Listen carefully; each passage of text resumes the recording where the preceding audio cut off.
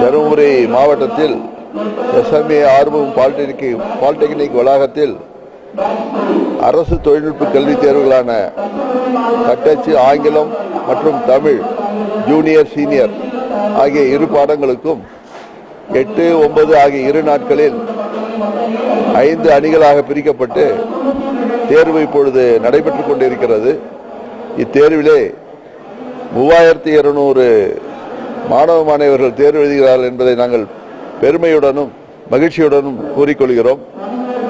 இத்தேர்வின் மூலம் தட்டச்சு கல்விக்கு உள்ள முக்கியத்துவம் நமது மாணவ மாணவர்கள் அறிந்து கொண்டதற்கென்று எங்கள் சங்கத்தின் சார்பாக எங்களது மகிழ்ச்சியினையும் நன்றியினையும் தெரிவித்துக் கொள்கிறோம்.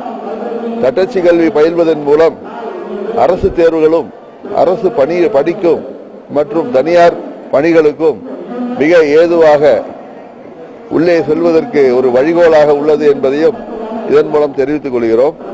தட்டச்சு பயில்வதன் மூலம் கணிப்பொறியை சுலபமாக இயக்குவதற்கு வழிகோலுவதாகவும் உள்ளது. ஏழாம் வகுப்பு பயிலும் மாணவர்கள் முதல் தட்டச்சு தேர்வுக்கு செல்லலாம் என்ற அரசு ஆணையும் வெளியிடப்பட்டுள்ளது.